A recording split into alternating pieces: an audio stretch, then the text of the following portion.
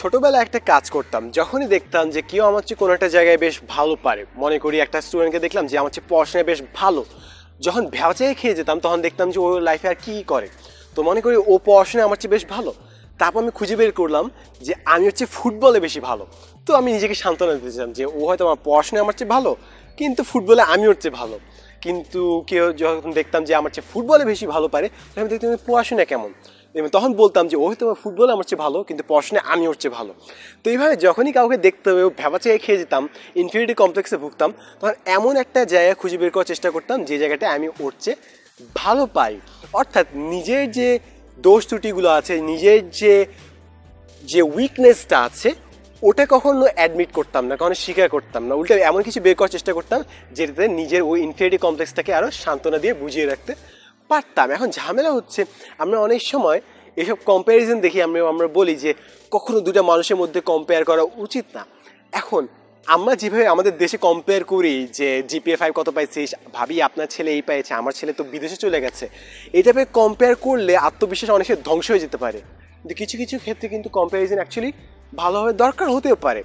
উদাহরণ দিয়ে বলতে গেলে অনেক সময় অনেক স্কুল কলেজে এমন অনেক ফার্স্ট বয় ফার্স্ট গার্ল আছে, যারা আজীবন ভাবছে যে তারা স্কুল কলেজে ফার্স্ট বয় ফার্স্ট গার্ল কিন্তু যখন অ্যাডমিশন সিজন তার এক্সাম দেয়, তারা দেখে চান্সও পায় নাই। তারা বুঝে না যে কী হলো।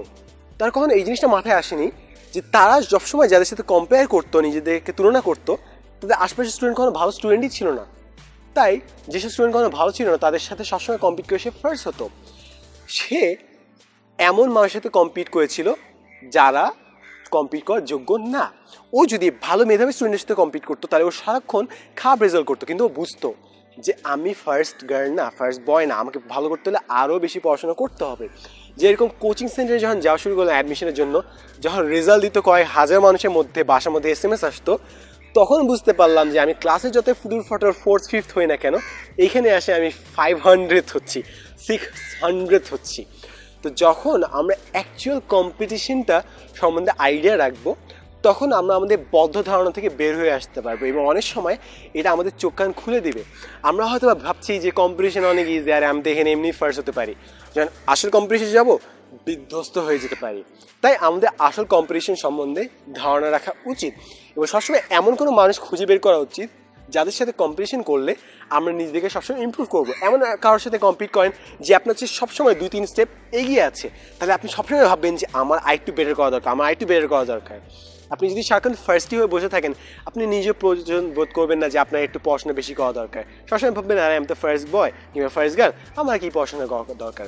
কিন্তু আপনি যদি সবসময় এমন কারোর সাথে কম্পিট করেন যে আপনার যে এক স্টেপ এহেড আপনি সবসময় নিজেকে ইমপ্রুভ করবেন এবং সবসময় খেয়াল রাখবেন যে আপনার আশপাশের মানুষ আপনার টোটাল কম্পিটিশন না। এখন গ্লোবালাইজেশনের যুগ। সামনে যখন আমরা কর্মক্ষেত্রে যাব, পুরো বিশ্বের সবার সাথে কিন্তু আমাদের কম্পিট করতে হবে। যারা ফ্রিল্যান্সিং করে, ওরা খালি কিন্তু দেশের গ্রাফিক ডিজাইনের সাথে কম্পিট করে না। ওরা পৃথিবীর সব ফ্রিল্যান্সের সাথে কম্পিট করে বিট করে, তারপর একটা জব পায়। আপনি হয়তো দেশে কোনো কাজ করছেন, বিদেশি জ্ঞান আপনার সেম পোস্টের জন্য অ্যাপ্লাই করবে। কীভাবে সেটা টেক্কা দেবেন? ও হয়তো অনেক ভাব পড়াশোনা করে আপনাকে বিট দেবে। তো আপনি হয়তো কম্পেয়ার করছেন নিজের আশপাশের মানুষের সাথে, যদি করে থাকেন, আরেকবার চিন্তা করেন। হয়তো বা এমন আরও অনেক মানুষ আছে যারা আপনার সাথে কম্পিট করলে আপনাকে জাস্ট উড়িয়ে দিতে পারে। তো এই ছিল হচ্ছে আমার ব্যক্তিগত অপিনিয়ন তো আপনার যদি অন্য কোনো মতামত থাকে, যদি ভালো কিছু মতামত থাকে, যদি মনে করেন আমি ভুল কিছু বলে থাকি, তাহলে প্লিজ কমেন্টে টাইপ করে জানিয়ে দেবেন যেন আমরা সব একসাথে ভালোভাবে শিখতে পারি, বুঝতে পারি এবং ভালো মানুষ হিসেবে গড়ে উঠতে পারি। And as always thanks for watching